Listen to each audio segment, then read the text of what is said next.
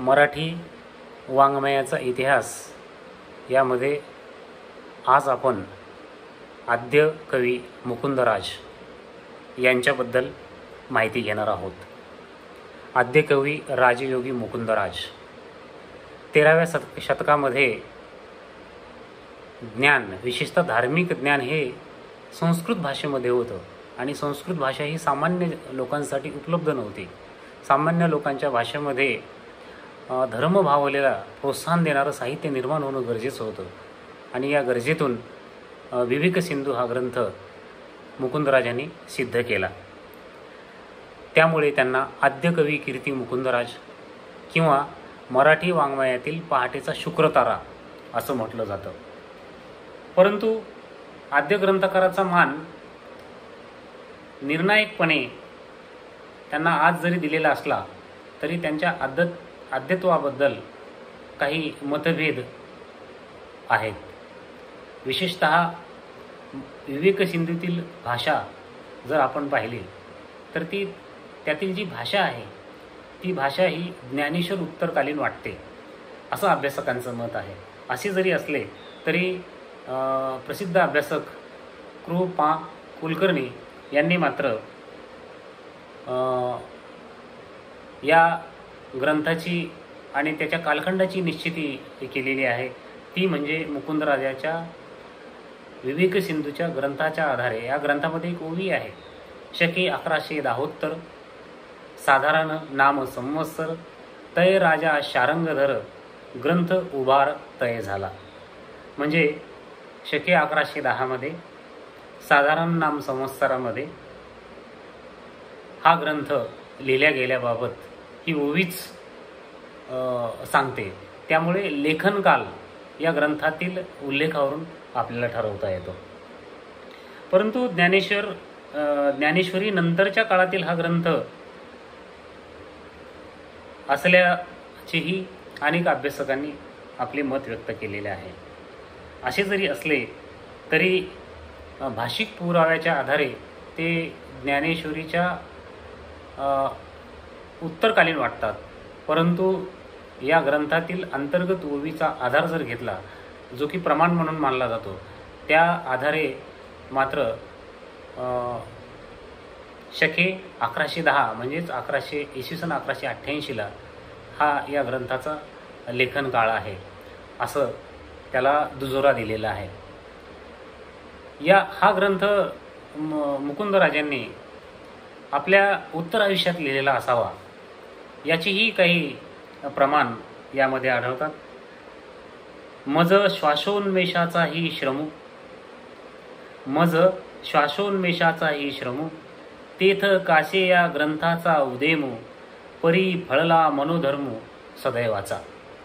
या ओळीवरून असं म्हणता येतं की त्यांनी वृद्धावस्थेमध्ये या ग्रंथाचं लेखन केलं असावं. तर त्यांच्या लेखन काळाबद्दल जरी मतभेद असले तरीही एकूण जर विचार केला तर त्यांना अ, आद्यत्वाचा मान दिलेला आहे. जसं लेखनाच्या बाबतीत लेखनाच्या काळाच्या बाबतीत जसं त्यांचं त्यांच्याबद्दल वाद आहेत तसं स्थळाच्या बाबतीत हे वाद आहेत. मुकुंदराज हे कुठले? त्याबाबत दोन मतांतर आहेत. एक बाणगंगेच्या काठी अंबाजोगे मोमिनाबाद जिल्हा बीड येथील ते असावेत असं एका अभ्यासकाच्या गटाचं महत्त्व आहे. तर वैनगंगेच्या काठी आंबोरे या गावाचे जिल्हा भंडारा येथील ते असावेत. असे दोन तर्क अभ्यासकामध्ये आहेत. परंतु आता हे दोन्ही हे दोन्ही जे तर्क दिलेले आहेत ते तर्क देण्याचं कारण म्हणजे विवेक सिंधूतील एक ओवी. ती ओवी अशी आहे वैन्या गंगेची या तीरी मनोहर अंबा नगरी तेथे प्रकटले श्रीहरी जगदीश्वरू. ही अठराव्या प्रकरणातील जी ओवी आहे त्या ओवीवरून वनगंगेच्या तीरी तीरावर असलेले अंबानगरी हे गाव याचा उल्लेख आपल्याला या ओवीमध्ये आढळतो. आणि त्यामुळे आपल्याला असं लक्षात येतं की मुकुंदराजाचे परतप पता परत्पर गुरु हरिनाथांचा अवतार त्यांचा होम त्या होमाच्या ज्वालेत प्रसन्न झालेला शंभू हरिनाथांना लागलेली समाधी रामचंद्र म्हणजे मुकुंदराजाचे गुरु यांची झालेली कृपादृष्टी रामचंद्रांनी केलेल्या शिष्योपदेश इत्यादी सर्व घटना आंबोरे येथे घडलेल्या आहेत.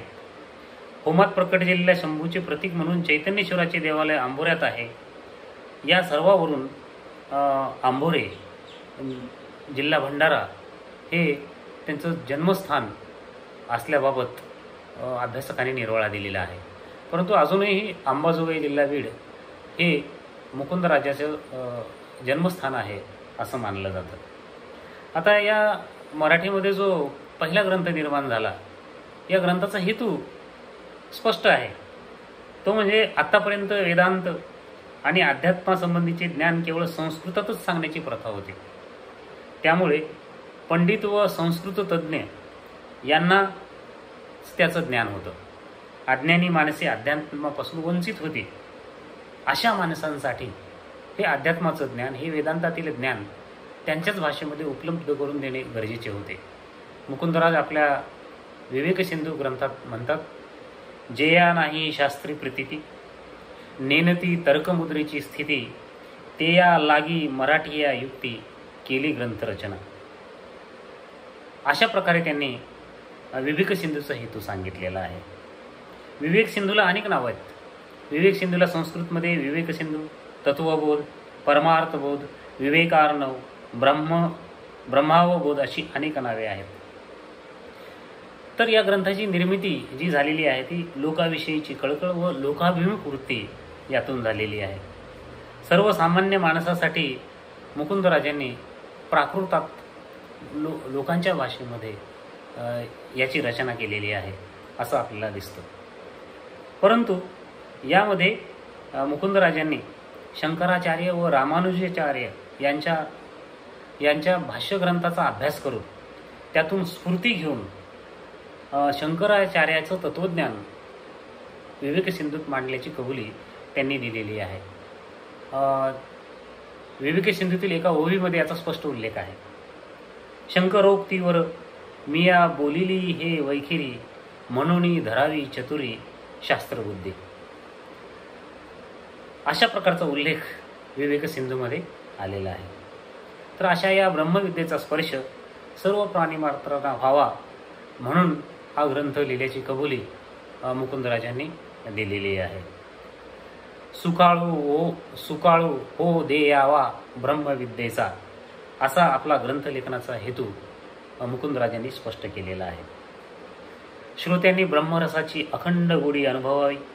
यासाठीच आपण विवेक सिंधूचे लेखन करीत असल्याचे मुकुंदराज सांगतात. या ग्रंथ निर्मितीतून मुकुंदराजांनी मराठी साहित्याची मुहूर्तमेढ रोल रोवली असे आपल्याला म्हणता येऊ शकते. वाङ्मयाद्वारे समाज प्रबोधन करण्याचा महत्त्वाचा प्रयत्न त्यांनी या ग्रंथाच्या माध्यमातून केला. संन्यास कर्मटपणावर भर न देता तपा तीर्थाचे डांगोरे आणि श्रुती स्मृतीचे कामारे तयाचे न उतरे अज्ञान कावरे. एक ज्ञाने विन अशा पद्धतीने त्यांनी याची स्पष्टता दिलेली आहे असं आपल्याला म्हणता येतं. आता विवेक सिंधूची वैशिष्ट्ये. विवेक सिंधूची वैशिष्ट्ये पहिलं वैशिष्ट्य म्हणजे उपनिषदाच्या मंथनातून निर्माण झालेलं हे नवनीत आहे असं अभ्यासकांचं मत आहे. कारण यामध्ये जे ज्ञान सांगितलेलं आहे ते उपनिषदातीलच आहे. त्यामुळेच प्रसिद्ध अभ्यासक कृ पा कुलकर्णी यांनी मराठी भाषेतील उपनिषदच होय असं विवेक सिंधू ग्रंथाच्या बाबतीमध्ये म्हटलेलं आहे. मुख्यतः हा शास्त्रीय ग्रंथ आहे व अनुषंगिकरित्या तो वाङ्मयीन आहे अशी टिप्पणी ही कृपा कुलकर्णी यांनी केलेली आहे. वेदांत आणि अध्यात्मशास्त्र हा विवेक सिंधूचा मुख्य विषय आहे. त्यामुळे या ग्रंथामध्ये बरेच शब्द हे पारिभाषिक असे आलेले आहेत. यानंतर विवेकी सिंधूची आणखीन काही वैशिष्ट्ये आपण दुसऱ्या भागामध्ये अभ्यासणार आहोत. तूर्त एवढेच. धन्यवाद.